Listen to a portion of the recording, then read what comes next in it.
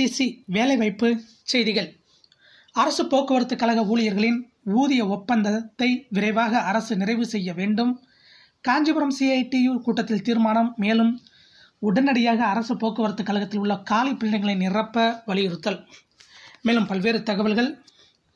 போக்குவரத்து ஊழியர்களின் பதினாலாவது ஊதிய ஒப்பந்தத்தை விரைவாக பேசி முடித்து நிறைவு செய்ய வேண்டும் என்று சிஐடியு வலியுறுத்தியுள்ளது.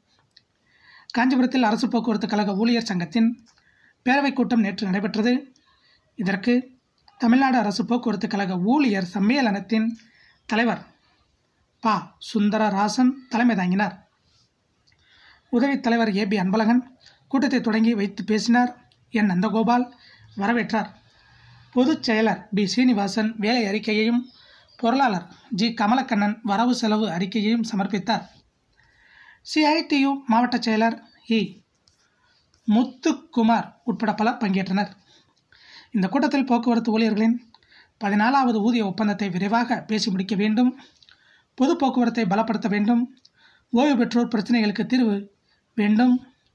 காலி பணியிடங்களை நிரப்ப வேண்டும். வருங்கால வாய்ப்பு நிதி கடன்களை முறையாக வழங்க வேண்டும்.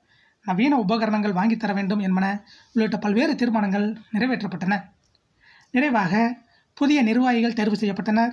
இதன்படி தலைவராக என். நந்தகோபால் பொதுச் செயலராக பி. சீனிவாசன் பொருளாளராக ஜி. கமலக்கண்ணன் உள்ளிட்ட இருபத்தி ஐந்து பேர் கொண்ட நிர்வாகிகள் தேர்வு செய்யப்பட்டனர்.